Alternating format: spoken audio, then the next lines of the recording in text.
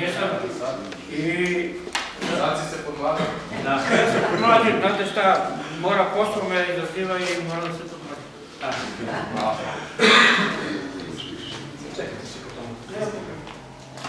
Pročitajte, molim te, Zoran Živković, Tantijema. Odbor izvođača Pirot i zastupnik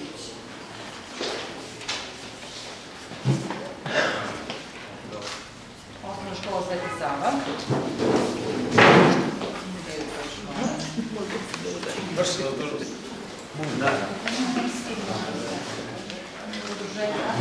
Udruženje, za ekologiju i zaštitu životne sredine.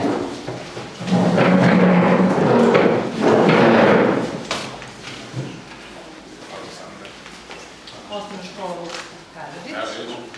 Majko realizuje projekte, ali zna da se s nekim... Centar za socijalni rad za opštinu Pirot. Pirot Marija.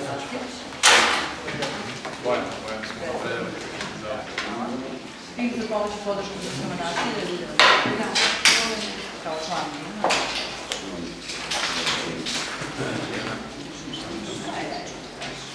Emilija Popović.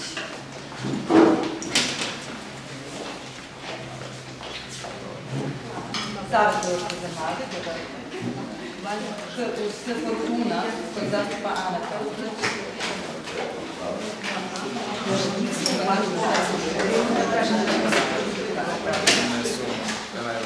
Ženi za pomoć MNRL, koja ga gospoda.